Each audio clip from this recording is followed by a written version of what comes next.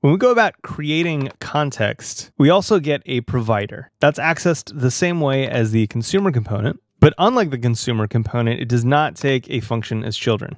Let's use property access syntax again to grab the provider off name context. Again, opening and closing tags. You'll notice something interesting happened. We're no longer getting our default value. And that's because the default value is only given to consumers that aren't wrapped in a corresponding provider. Where providers are used, we're required to give an explicit value prop. Here I'll use my name. And everything works beautifully. In review, name context gives us a provider, and every provider requires a value prop. That value prop is going to be used in the consumer's function as children, which provides the value that we can use inside of the React element that we return. So, creating, consuming, and providing context are the three parts of React context.